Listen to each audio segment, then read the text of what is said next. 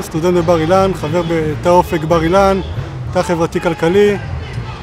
אה, אני פה להזדהות, למחות עם כל הציבור, עם כל מעמד הביניים בישראל, על אה, החוסר, חוסר בשוויון זכויות במדינה.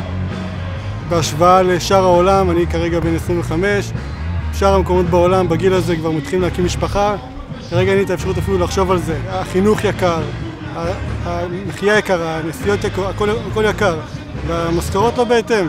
כולם רוצים שינוי, אנחנו פה בשביל להישאר, אנחנו לא, לא סתם אנשים עוזבים את, ה, את, ה, את, את העבודות שלהם, את הדברים בשביל לבוא לפה. אנשים, באמת אין איפה לגור. כרגע אנחנו רובנו סטודנטים בתקופת מעבר, כרגע נגמר החוזה של הדירה, וקשה למצוא דירה, קשה, אין לנו איפה.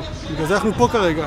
תקווה ש, ש, ש, שתקום פה חברה סוציאליסטית יותר, עם מדינת רווחה, שתדאג למעמד הביניים שהולך ומתפוגג בארץ.